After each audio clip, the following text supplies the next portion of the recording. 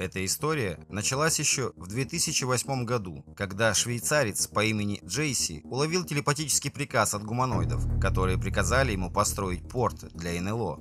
После этого происшествия Вернер переехал в небольшой городок Качи, где и приступил к этому грандиозному строительству. Строительство порта для НЛО закончено. С высоты видно фантастические узоры, выложенные из темного и светлого камня. Доподлинно неизвестно, воспользовались ли инопланетяне этим портом. Сам Вернер прокомментировал это так. 24 ноября 2008 года я увидел в небе несколько светящихся точек, летевших примерно на высоте 200 метров. Эти объекты были идеальной формы и имели металлический отлив. Один объект направил на меня свой луч света. Я впал в своего рода оцепенение и стал получать мысленные приказы. Инопланетяне подробно объяснили мне, каким должен быть порт для внеземного транспорта. Этот внеземной порт находится в 4 километрах от Качи. В его центре расположена огромная звезда с 36 лучами.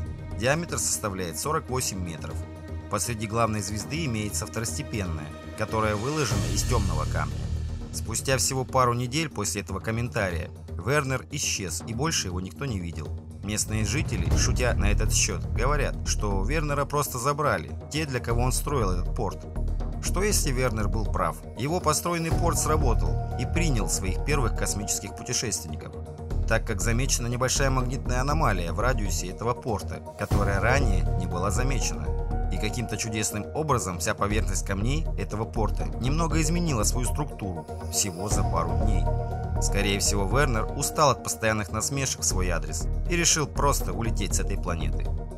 Напишите, что вы думаете об этом. Мира вам и процветания. Пока.